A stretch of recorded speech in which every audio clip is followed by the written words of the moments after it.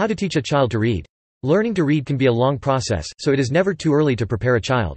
While learning to read is a big milestone, it is important that the learning process be fun and engaging for the child.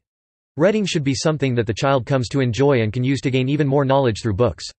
If you remain patient and make the learning process a fun way to spend time together, it will give the child the best chance to successfully learn to read and love books. Creating a reading environment. Read to the child. Make reading part of the routine every day.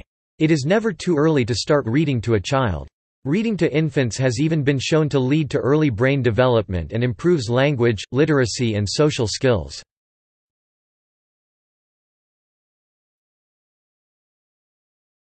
Use an energetic tone. An engaging storyteller will help to keep the child interested in the book. Even if the child is too young to understand the story, your voice can express happiness, sadness, anger, or many other emotions that will give the child some context to go with the pictures.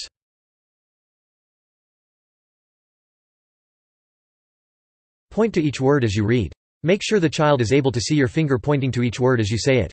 Even if it does not seem like he understands the words, he will begin to realize that the squiggly lines on the page are related to the words that are spoken.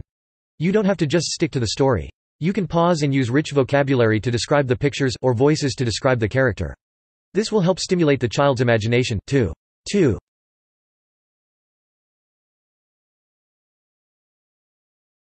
Ask the child questions about the story. Pause while reading to get the child involved in the story. Keep the questions simple. For example, if there is a dog in the story, you can ask the child what color it is. This will help the child to learn to process the story better and lead to better reading comprehension.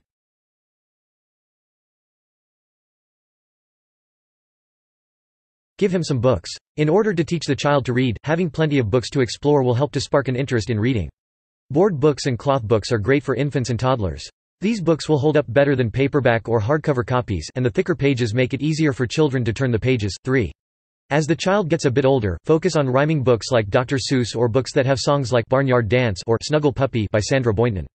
Get a library card. Take the child on regular visits to your local library. Go to the children's section and let the child pick the book he wants to read. Once a week on a set date Friday after school for example is also a good way to get into a structured routine. It's alright if he is a bit too old for the book or has already read it. When he is a bit older, let him check out the book at the front desk, but always under your supervision.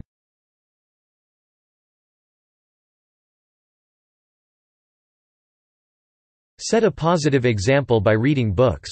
If a child notices that you are enjoying a book, he will be more likely to develop an interest in reading as well. Try to read around them for about 20 minutes each day. If the child gets curious about what you're doing you can tell him about the book you are reading, or take the opportunity to ask if the child would like to find a book to read.